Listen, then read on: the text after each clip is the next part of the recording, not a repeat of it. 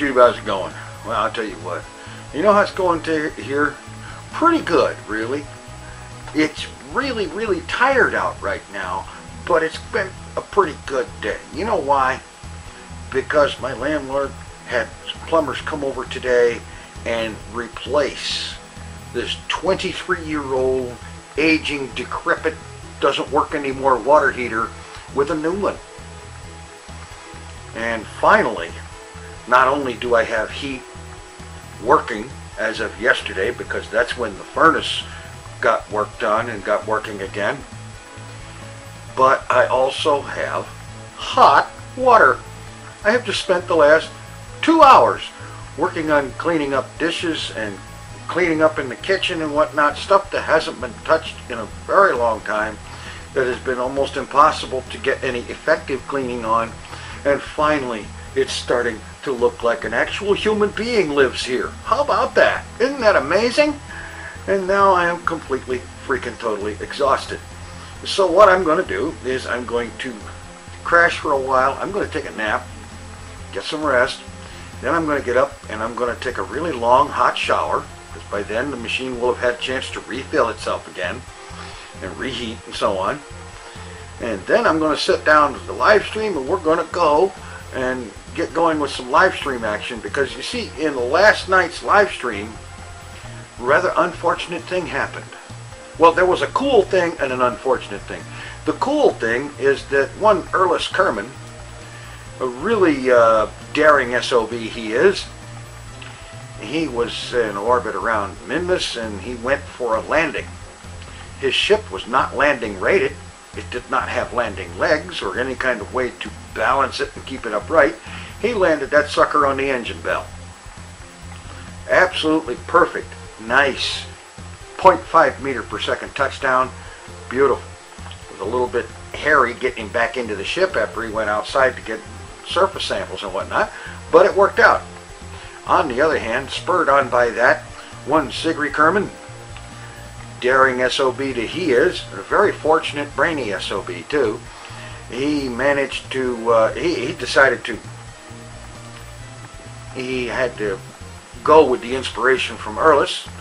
He went on a trip to the moon and he was going in for a landing and then there was a control failure. The control for open throttle all the way got stuck. And so he had to abort the landing, ran out of fuel trying to get back into orbit, wasn't quite back into orbit, so he gets out of the capsule, uses his EVA pack to provide him with the additional thrust he needed to get into some kind of a survivable orbit, and hung there in orbit in his spacesuit and watched as his ship crashed back down on the moon's surface. And so, Sigri is caught and he's stuck in moon orbit.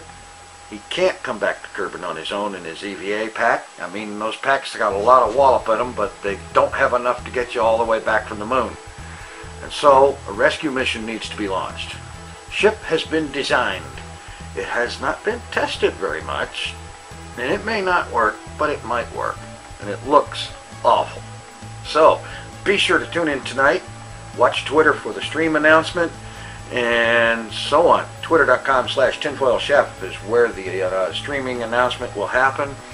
And the channel on Twitch is twitch.tv slash tinfoilchef. Tune in for the further adventures of Sigri Kerman as he gets rescued, or not, from his perilous flight around the moon. And then who knows what else might go on. Meanwhile, the fundraising effort continues. Today is Thursday the 13th the 14th, excuse me. And uh, there is a deadline of, uh, you know, that's when the deadline, last I recall, was going to be when uh, these folks' power was going to be turned off. And it's an all-electric house. So I'm going to be streaming, trying to raise some funds for that, having some fun with Kerbal Space Program. Do stop by. And oh, by the way, this whole Google Comments thing, I'm sorry to say it, but if you're not commenting from a G Plus thing, from a YouTube account that's been linked to G Plus, unfortunately, I don't. I, am figuring out that I can't reply to comments that are not linked to G+. Uh, I'm sorry about that because I like replying to comments. I really do. And I wish they'd not keep that requirement in there like that. It was a little bit ridiculous. And uh, this whole tying G Plus to YouTube, I can see where there's some reason for it, but the implementation blows. And uh, the fact that it's kind of half broken right from the start, uh, that's, that's no good. So if I don't reply to your comment, I'm not being rude. I'm just probably, very possibly, not able to. So, anyway, that's what's going on for right now. I'm off to get some Z's and get ready for streaming tonight. Exact time, I'm not sure. 9, 10 o'clock, something-ish like that. Like I said, watch uh, twitter.com slash tinfoilchef or twitch.tv slash tinfoilchef. Either way, you'll know. Thanks for watching. Take it easy. I'm out of here.